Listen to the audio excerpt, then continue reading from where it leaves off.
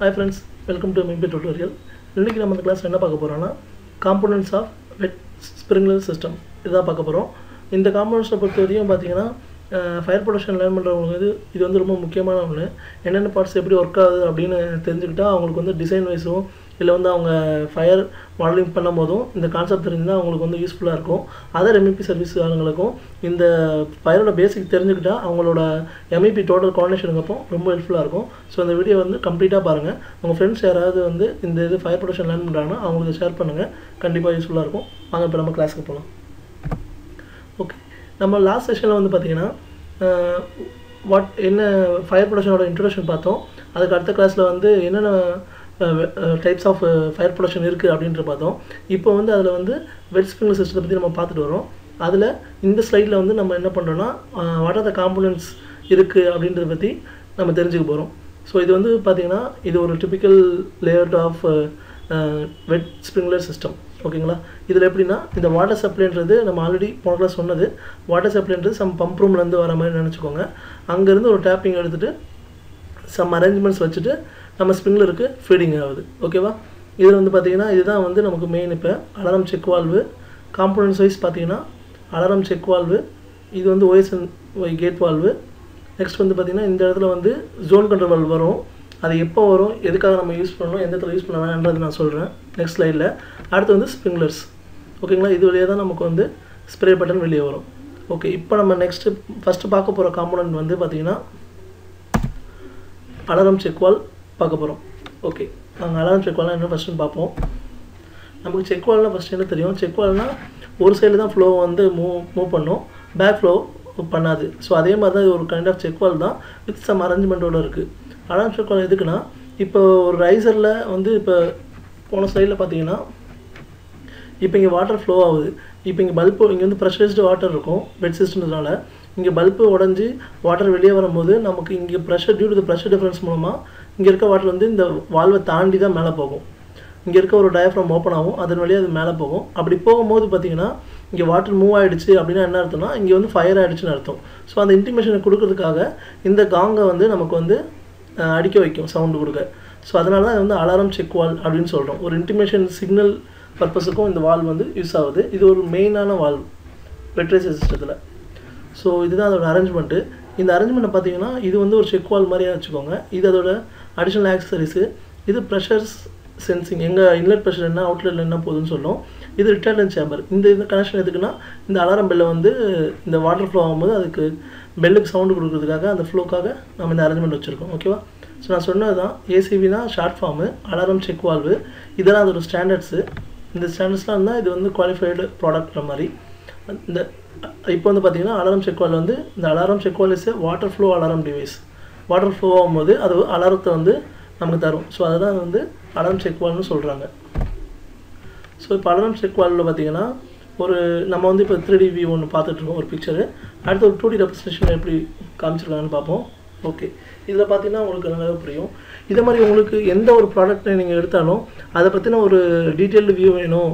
இல்லை அதை பற்றி ஒரு பார்ட்ஸ் என்னென்ன டைமென்ஷன் இருக்குது என்ன பர்பஸ் இருக்குது அப்படின்னு உங்களுக்கு தெரியணும். Not only for alarm check valve வேறு ஏதாவது ப்ராடக்ட் தெரியணும்னா நீங்கள் நெட்டில் போயிட்டு அந்த ப்ராடக்ட் நேம் அடிச்சுட்டு இல்லை அந்த டிவைஸ் நேம் அடிச்சு டிவைஸ் மீன்ஸ் இந்த வால்வ் ஏதாவது நேம் அடிச்சுட்டு அதோட டேட்டா ஷீட் அப்படின்னு நீங்கள் டைப் பண்ணினாலே உங்களுக்கு பிடிஎஃப் நிறைய ப்ராடக்ட்ஸோட பிடிஎஃப்லாம் வரும். லைக் டைக்கோ நாப்கோ அது மாதிரிலாம் வரும். அதில் போய் நீங்கள் பார்த்தீங்கனாலே இந்த பிக்சர் ஃபுல்லாக அந்த டீட்டெயில்ஸ் ஃபுல்லாமே அதில் இருக்கும்.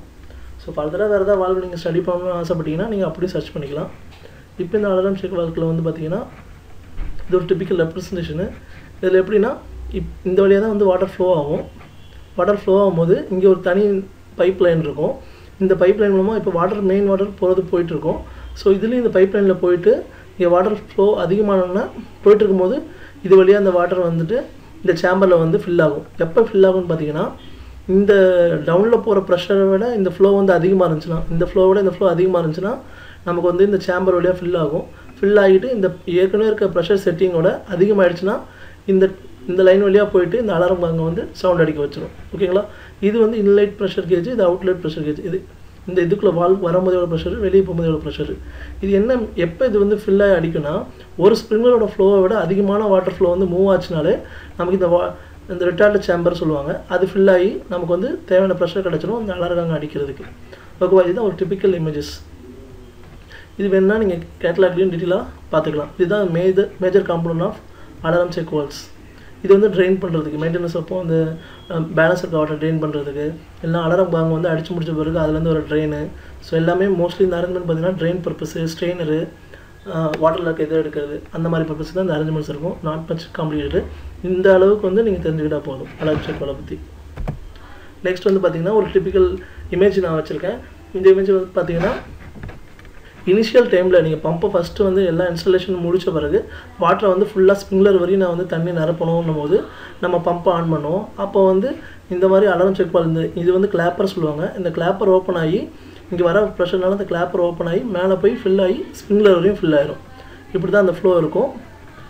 அப்புறம் ஃபில் ஆகிட்ட முடிஞ்ச பிறகு என்ன ஆகுனா கிளாப்பர் வந்து ஆட்டோமேட்டிக்காக க்ளோஸ் ஆயிரும். வாட்டர் ஒன்ஸ் ஃப்ளோ ஆகி முடிச்ச பிறகுனா அந்த கிளாப்பர் ஆட்டோமேட்டிக்காக க்ளோஸ் ஆயிரும். இது எப்பவுமே க்ளோஸ்டு கண்டிஷனில் தான் இருக்கும் நார்மலாக எப்போ வந்து நமக்கு வந்து ஃபயர் ஆகுது இல்லைனா ஸ்ப்ரிங்லர் வந்து ஃப்ளோ பல்ப் வெடித்து வாட்டர் வெளியே போதும் அந்த டைமில் வந்து இங்கே இருக்க வாட்டர்லாம் ஃபஸ்ட்டு வெளியே போயிடும் அந்த ப்ரெஷரை வந்து நார்மலைஸ் பண்ணுறதுக்காக கீழே இருக்கிற வாட்டர் வந்து என்ன ஆகும்னா மேலே தள்ளப்படும்.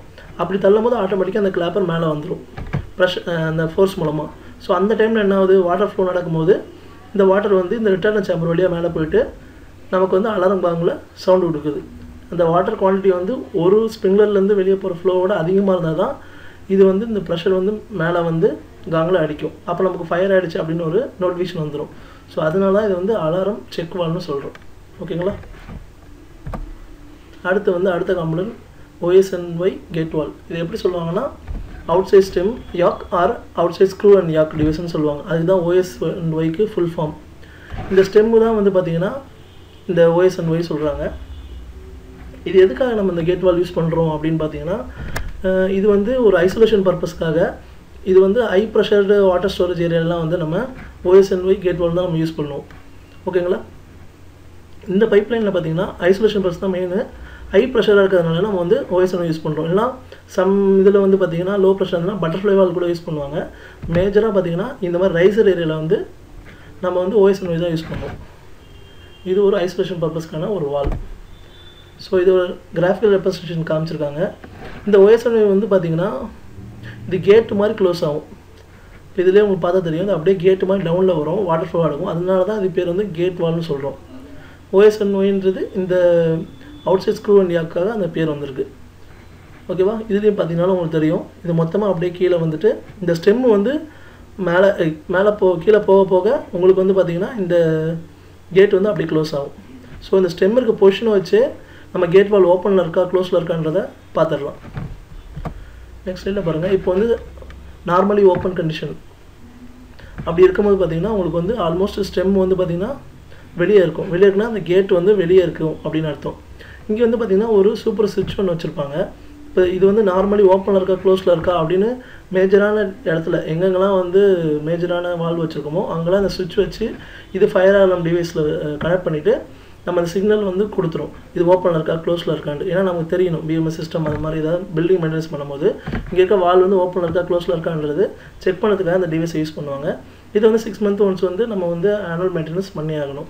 ஸோ இப்போ வந்து ஸ்டெம் வந்து வெளியே இருக்குது ஸோ கேட் வந்து என்னென்னா வெளியே இருக்குன்னு அர்த்தம். ஸோ இது நார்மலி ஓப்பன் இப்போ பார்த்தீங்கன்னா இந்த பிக்சரில் வந்து ஸ்டெம் ஆல்மோஸ்ட் உள்ளே போயிடுச்சு. ஸோ இது வந்து நார்மலி க்ளோஸ்ட் கண்டிஷன் நம்ம இன்ஸ்டாலேஷன் பண்ண முடிச்ச பிறகு மோஸ்ட்லி நார்மலி ஓப்பனில் தான் வச்சுருப்பாங்க. அப்போ ஸ்டெம்மு வந்து நீங்கள் எங்கே ஃபயர் ஃபைட்டிங் இதில் போய் பம்ப் ரூம் எதில் பார்த்தாலும் ஸ்டெம்ஸ் மோஸ்ட்லி வெளியே தான் இருக்கும். ஓகே இதுவும் ஒரு ரெப்ரஸன்டேஷன் தான். இதில் வந்து பார்த்தீங்கன்னா இந்த டைப் சொல்கிறேன் இப்போ நீங்கள் கேட் வால் பார்க்கும்போது different type of gate valves இருக்கும். மொத்த அரேஞ்ச்மெண்ட் சேமாக இருக்கும். பட் ஆனால் அந்த எண்டில் பார்த்தீங்கன்னா ஃப்ளாஞ்ச் டைப்பாக இருக்கும். ஒரு சைடு ஃப்ளாஞ்சு இன்னொரு சைடு குரூவ்டாக இருக்கும். இல்லை ரெண்டு சைடும் குரூவ்டாக இருக்கும். ஓகே மோஸ்ட்லி இந்த பம்ப் சைடில் பார்த்தீங்கன்னா எல்லா கேட் வால்வும் பார்த்தீங்கன்னா ஃப்ளாஞ்சாக தான் இருக்கும். ஏன்னா வந்து ஹை ப்ரெஷர் வந்து விஸ்டன் பண்ண சொல்லுவாங்க. ஃப்ளாஞ்ச் தான் வந்து நல்லா டைட்டு ஹை ப்ரெஷர் தாங்கணுன்னா ஃப்ளாஞ்சாக இருக்கும். மற்ற இடத்துல வேறு ஏதாவது பர்பஸ் யூஸ் பண்ணாங்கன்னா இது மாதிரி டைப்பில் மாறிட்டு வரும். ஓகேவா இப்போ ஃபஸ்ட் லைட்டு நீங்கள் பார்த்தீங்கன்னா தெரிஞ்சிருக்கும். அலாரம் வாய்ஸ் எடுத்து ஒரு அலாரம் செக் வால் இருக்கும். அந்த அலாரம் செக் வாலும் ஃப்ளாஞ்சாக இருந்துச்சுன்னா இது வந்து ஃப்ளாஞ்சில் தான் கனெக்ட் ஆகும். ஸோ இது உங்கள் இன்ஃபர்மேஷனுக்காக நெக்ஸ்ட் வந்து நம்ம இங்கே ஜோன் கண்ட்ரோல் வால் பார்க்க போகிறோம் ஸோ பம்ப்லேருந்து இப்போ ரைசர் வருது அப்படின்னா இந்த ஓஎஸ்என் கேட் வால் பார்த்துட்டோம். அலாரம் செக் வால் பற்றி பார்த்துட்டோம். அடுத்து இந்த ரைசர் எக்ஸ்டெண்ட் ஆகிட்டு போகும்போது நம்ம ஃப்ளோர் வைஸ் வந்து ஸ்ப்ரிங்க்லர் ப்ரொடக்ஷன் கொடுத்துட்டே இருப்போம். ஸோ இந்த ஃப்ளோரில் கொடுக்கும்போது அந்த ஃப்ளோரில் வந்து பார்த்தீங்கன்னா ஒரு சிங்கிள் ஜோன் தான் இருக்குது அப்படின்ற பட்சத்தில் உங்களுக்கு இந்த ஜோன் கண்ட்ரோல் தேவை கிடையாது. இதை நான் ஒரு கே ஒரு இன்னொரு கேட் ரெப்ரசன்ட் மூலமாக உங்களுக்கு எக்ஸ்பிளைன் பண்ணுறேன் இதில் பாருங்கள் ஸோ நம்ம பம்ப்லேருந்து இந்த ரைசர் வெளியே வருது. அப்புறம் நம்ம ஐசோலேஷன் வால் வச்சு ஒரு அலாரம் செக் பண்ண மூலமாக மேலே போச்சுன்னா இங்கே வந்து ஒரு ஃப்ளோக்கு வந்து இது ஒரு ஃப்ளோர் இருக்குது இந்த ஃப்ளோரை நம்ம சர்வ் பண்ணுறோம் இந்த ஃப்ளோரை நான் என்ன பண்ணேன்னா இப்போ வந்து இது ஒரு சிங்கிள் ஜோன் தான் இருக்குது ஒரு சின்ன ஒரு ஃப்ளோர் மட்டும்தான். அங்கே வேறு கம்பார்ட்மெண்டேஷன் எதுவுமே பிரிக்கலைன்னா உங்களுக்கு வெறும் alarm check valve O S N வால்வே போதும். தனியாக ஜோன் கண்ட்ரோல் வான தேவையில்லை. தனியாக தேவை கிடையாது. ஏன்னா இதுவே உங்களுக்கு அலாரம் கொடுத்துரும். ஸோ இந்த ஃப்ளோரில் தான் இந்த ஜோனில் தான் அடிக்கும் தெரிஞ்சிடும் பட் இன் சப்போஸ் வந்து பார்த்தீங்கன்னா உங்களுக்கு நாலு ஜோன் இருக்குது இந்த ஜோன் எப்படி பிரிக்கிறாங்கன்னா இந்த ஃபயர் கம்பார்ட்மெண்டேஷன் ஒரு விஷயம் சொல்லுவாங்க. அப்படின்னா ஏரியா இருக்கும். இந்த ஒரு ஜோன் கண்ட்ரோல் வாலை வச்சு இந்த ஒரு குறிப்பிட்ட ஏரியாவுக்கு மட்டும் தான் சர்வ் பண்ண முடியும். அதை தாண்டிடுச்சுன்னா அதெல்லாம் சர்வ் பண்ண முடியாது. ஸோ அந்த பர்பஸுக்காக ஒரு பெரிய பில்டிங் இருந்தாலும் அதை ஜோன் ஜோனாக பிரிச்சுப்பாங்க. ஸோ அப்படி பிரிச்சிருந்தாங்கன்னா உங்களால் வந்து வெறும் அலாரம் செக்வாலை வச்சு உங்களால் கண்டுபிடிக்க முடியாது. எந்த ஃப்ளோர் வந்து ஃபயர் ஆகிடுச்சுன்ட்டு ஸோ அதனால் என்ன பண்ணுவாங்கன்னா நாலு கம்பார்ட்மெண்டேஷனாக பிரித்து இந்த ரைசர்லேருந்து ஒரு நாலு ஜோன் வார பிரிச்சுப்பாங்க. பிரித்து இந்த ஈச் ஜோனுக்கும் ஈச் ஜோன் கண்ட்ரோல் தான் போகும். அப்போ தான் என்ன ஆகும்னா இங்கே வந்து பார்த்தீங்கன்னா ஒரு ஃபயர் அலாம் கண்ட்ரோல் பேனலோட ஒரு கனெக் கனெக்ஷன் கொடுத்துருப்பாங்க ஜோன் கண்ட்ரோலில் அப்போ இங்கே ஸ்ப்ரிங்லர் வெடிச்சிச்சுன்னா இங்கே ஜோன் கண்ட்ரோல் தாண்டி தான் வந்து உங்களுக்கு வாட்டர் போகணும். அப்போ போகும்போது இந்த கனெக்ஷனில் போய் டிவைஸ் சொல்லிடும் இந்த ஜோனில் தான் ஃபயராக இருக்குது இல்லை இந்த ஜோனில் தான் ஃபயராக இருக்குன்னு நம்மளால் கண்டுபிடிச்சிட முடியும். ஓகேவா அந்த பர்பஸ்க்காக தான் ஜோன் கண்ட்ரோல் வால் வந்து நம்ம யூஸ் பண்ணுறோம் அந்த பர்டிகுலர் ஜோனை வந்து ஐசோலேட் பண்ணிட்டு அங்கே தான் ஃபயர் நடக்குதுன்னு கண்டுபிடிக்கிறதுக்காக இது ஒரு அலாரம் சிக்னல் டிவைசஸ்னு வச்சுக்கலாம். ஓகே இதில் இப்போ ஜோன் கண்ட்ரோல் தான் பார்க்க போகிறோம் okay what is zone control இப்போ ஜோன் கண்ட்ரோல்னா என்னென்னு பார்த்தீங்கன்னா ஷார்ட் ஃபார்மில் ஜெட்சிவின்னு சொல்லுவாங்க. இப்போ நீங்கள் ஒரு டூ டி லேஅவுட் பார்த்தாலும் அதில் வந்து சில அனோடேஷன் ஒரு சிம்பிள் போட்டிருக்கோம் ஜெட்சிவின்னு போட்டிருக்கோம் ஃபயருக்கு அதுதான் ஜோன் கண்ட்ரோல் வால் அரேஞ்ச்மெண்ட்டு இந்த அரேஞ்ச்மெண்ட்டில் எது மேஜர் என்னென்ன காம்பனன்ட்ஸ் இருக்குன்னு பார்த்தீங்கன்னா ஒரு பட்டர்ஃப்ளை வால்வு வித் சூப்பர் சுவிட்ச் இந்த சுவிட்ச் தான் போய் ஃபயர் அலாம் கண்ட்ரோலோட கனெக்ட் ஆகும். அந்த இந்த ஒயர் போய் தான். அப்போ தான் இந்த இதை தாண்டி போதா வாட்டர் ஃப்ளோ ஏதாச்சும் சாரி இந்த இதில் இருக்க சூப்பர் சுவிட்ச் வந்து பார்த்தீங்கன்னா இங்கே ஒரு வயர் மாதிரி போகும். அதுவும் ஒரு மானிட்டர் மாடியோட கனெக்ட் ஆகும். அந்த கனெக்ஷன் என்ன சொல்லணும்னா இந்த வால்வு ஓப்பனில் இருக்கா க்ளோஸில் இருக்கா அப்படின்னு சொல்கிறதுக்காக அந்த ஜோன் போகிற வாட்டர் ஃப்ளோ வந்து அதுக்கான வந்து ஓப்பனில் இருக்கா க்ளோஸில் இருக்கா அப்படின்னு சொல்கிறதுக்காக இது வந்து சூப்பர் சுவிட்சோட கனெக்ட் ஆகிருக்கும் ஓகேங்களா ரெண்டாவது வந்து பார்த்தீங்கன்னா ப்ரெஷர் ரெகுலேட்டர் இந்த ப்ரெஷர் ரெகுலேட்டர் வந்து எவ்வளோ ப்ரெஷரில் வாட்டர் இருக்குது இந்த லைனில் அப்படின்னு தெரிஞ்சுக்கிறதுக்காக அடுத்து ஃப்ளோ சுவிட்ச் இது ஒரு மேஜரானது இந்த ஃப்ளோ சுவிட்ச் எதுக்குன்னா இது வந்து இங்கே ஒரு கிளாப்பர் மாதிரி இருக்கும். இப்போ வாட்டர் ஃப்ளோ ஆகி முடிச்சுட்டு ப்ரெஷரில் நிற்கும் போது இது ஆட்டோமேட்டிக்காக ஸ்டாக்னண்ட்டாக இருக்கும். மறுபடியும் இங்கே ஒரு பல்ப் ஏதாவது வெடிச்சிருச்சு இங்கே ஸ்ப்ரிங்கில் ஏதாவது வெடிச்சுன்னா வாட்டர் ஃப்ளோ ஆரம்பிச்சிடும் அப்போ போகும்போது இந்த இங்கே இருக்க கிளாப்பர் வந்து மூவ் ஆகும். அந்த மூவ்மெண்ட்னால இந்த சிக்னலை கொண்டு போயிட்டு நம்ம எஃப்ஏஎஃப்கில் கொடுத்துரும். அப்படி தான் நம்ம கண்டுபிடிப்போம். இந்த பர்டிகுலர் ஜோன் வந்து நமக்கு வந்து ஸ்ப்ரிங்லர் வெடிச்சிருக்கு அங்கே ஃபயர் ஆயிருக்குன்னு நமக்கு நோட்டிஃபிகேஷன் பார்க்க முடியும். ஸோ இதான் அரேஞ்ச்மெண்ட்டு ஜோன் கண்ட்ரோல் அரேஞ்ச்மெண்ட்டில் பார்த்தீங்கன்னா ஒரு பட்டர்ஃப்ளை வால்வு ஒரு ப்ரெஷர் கேஜ் ஒரு ஃப்ளோ சுவிட்ச் அடுத்து ட்ரெயின் இந்த ட்ரெயின் போகும்போது இங்கே ஒரு சைட் கிளாஸ் இந்த ட்ரெயினாக இருக்கும். இந்த ட்ரெயினை வந்து இப்போ நம்ம வந்து ஐசோலேட் பண்ணிட்டு இங்கே இருக்க வாட்டர்லாம் ரிமூவ் பண்ண போகிறோம் இதுக்கு அடுத்து உள்ள வாட்டர்லாம் ரிமூவ் பண்ண போகிறோம்னா இந்த ட்ரெயின் மூலமாக தான் வந்து கீழே கொண்டு போயிட்டு ட்ரெயின் பண்ணுவோம். இந்த ட்ரெயின் பைப் மூலமாக ஓகேவா ஸோ இதான் சொல்லியிருக்கேன். இது வந்து ஐடென்டிஃபை பண்ண ஐசோலேட் பண்ண அந்த ஃபயர் லொக்கேஷன் ஜோனு ஸோ இது வந்து நம்ம லேஅவுட்டில் வைக்கிற ஒரு டீட்டெயில்ஸு இது வந்து உங்களுக்கு கிளியராக சொல்லியிருப்பாங்க. ரெண்டு ரைசர் வரும் எங்கே போனாலும். ஒரு ஸ்ப்ரிங்லர் ரைசர் வருதுன்னா அது பக்கத்தில் கண்டிப்பாக ஒரு ட்ரெயின் ரைசர் வரும். இந்த ட்ரெயின் ரைசர் எதுக்காகன்னு பார்த்தீங்கன்னா இங்கே இருக்க வாட்டர் நம்ம ஐசோலேட் பண்ண போகிறோம் மெட்டீரியல் பர்பஸ்க்காக பண்ண போகிறோம்னா இந்த வால்வை க்ளோஸ் பண்ணிவிட்டு இங்கே இருக்க இங்கேருந்து இது கழுத்து தாண்டி உள்ள எல்லா ஸ்ப்ரிங்லர்லேருந்து வாட்டர் ட்ரெயின் பண்ணிவிட்டு நம்ம இந்த ட்ரெயின் ரேசர் வழியாக அனுப்பிச்சிடுவோம்.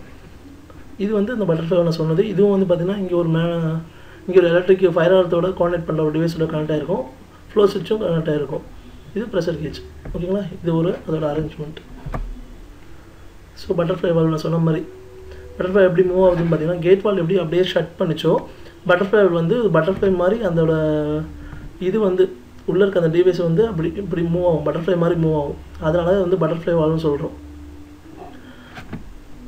இது வந்து ஜோனை ஐசோலேட் பண்ணுறதுக்காக இந்த பர்பஸ்க்காக இந்த பட்டர்ஃப்ளை யூஸ் பண்ணுறோம் ரியல் பட்டர்ஃப்ளை வந்து இதை மாதிரி இது இருக்கும். இது அனிமேஷன் பர்பஸுக்கு ஒரு ஜிப் ஃபைல் வச்சுருக்கேன் அடுத்து வந்து ஃப்ளோ சுவிட்ச் ஃப்ளோ சுவிட்ச் நான் சொன்னது தான் இந்த கிளாப்பர் டிவைஸ் வந்து ஃபஸ்ட்டு ஸ்டாக்னண்ட்டாக தான் இருக்கும். எப்போ வாட்டர் ஃப்ளோ டிஃப்ரென்ஸ் வருதோ இது மூவ் ஆகும்போது சிக்னல் கொண்டு போய் ஃபயர் வளர்த்து கொடுத்துரும். இது மூலமாக தான் எந்த ஜோன் வந்து ஃபயரில் இருக்குது அப்படின்னு நம்மளால் கண்டுபிடிக்க முடியும். ஃபஸ்ட் நார்மல் ஸ்டேஜில் வந்து பார்த்திங்கன்னா இது வந்து ஸ்டாக்னன்ட் பொசிஷனில் அப்படியே நார்மல் பொசிஷனில் இருக்கும். எப்போ வந்து வாட்டர் ஃப்ளோ சேஞ்சஸ் வருதோ இது வந்து மேலே போயிடும் இதனால் இங்கே எலக்ட்ரிக் சிக்னல் பாஸ் ஆகி இந்த ஜோனில் தான் ஃபயராக இருக்குன்னு ஃபயர் அலார்ம் மூலமாக நம்ம கண்டுபிடிச்சிடலாம். ஸோ இப்போ ஸ்ப்ரிங்லர்ஸ் ஸ்ப்ரிங்லர்ஸ் வந்து ஒரு பெரிய டாப்பிக்கு அதை வந்து நம்ம டீட்டெயிலாக பார்த்தே ஆகணும். ஏன்னா வந்து ஃபயர் சர்வீஸ் பண்ண போகிறாங்க அப்படின்னும் போது ஸ்ப்ரிங்லர்ஸை பற்றி அவங்க கண்டிப்பாக தெரிஞ்சிருக்கணும். ஏன்னா நம்ம மாடல் பண்ணுறதே வந்து ஸ்ப்ரிங்லரோட கவரேஜ் வச்சு தான் அண்ட் செலெக்ஷன் வச்சு தான் அதில் குயிக் ரெஸ்பான்ஸ் அது மாதிரி நிறையா இது இருக்குது டைப்ஸ் இருக்குது ஸோ இப்போ ஜென்ரலாக பார்த்தீங்கன்னா மேஜராக நம்ம சொல்கிறது வந்து அப்ரைட்டு அதில் பொசிஷன் வச்சு அப்ரைட்டு பெண்டன்ட்டு சைடு வால் அப்ரைட்னா மேலே பார்த்த மாதிரி ஸ்ப்ரிங்லர் இருக்கும். பெண்டன்ட்னா கீழே பார்த்த மாதிரி இருக்கும். சைடு வாலாம் அந்த பெட்ரூமில் வந்து சைடில் வச்ச மாதிரி ஸ்ப்ரிங்லர்ஸ் இருக்கும். அதோட பொசிஷன் வச்சு நான் இப்போ டிஃப்ரென்ஷியேட் பண்ணியிருக்கேன். நம்ம அப்கமிங் கிளாஸில் வந்து ஸ்ப்ரிங்லருக்காகவே ஒரு தனி டாப்பிக்காக பார்க்கலாம். தேங்க்யூ நம்ம சேனலை சப்ஸ்கிரைப் பண்ணிக்கோங்க. இது கண்டிப்பாக உங்களுக்கு யூஸ்ஃபுல்லாக இருந்திருக்கும்னு நினச்சிருக்கேன். நினைக்கிறேன். உங்களுக்கு பிடிச்சிருந்தா லைக் பண்ணுங்கள் கமெண்ட்ஸில் எதாவது சஜஷன் எதாவது சொல்லுங்கள் மறக்காமல் பெல் பட்டன் சப்ஸ்கிரைப் பண்ணிக்கோங்க. ப்ளஸ் பண்ணிக்கோங்க. அப்போ தான் வந்து உங்களுக்கு ஃப்யூச்சரில் நம்மளோட வீடியோஸ் வந்து உங்களுக்கு ஹைலைட் ஆகும். தேங்க்ஸ் ஃபார் வாட்சிங் பை ஃப்ரெண்ட்ஸ்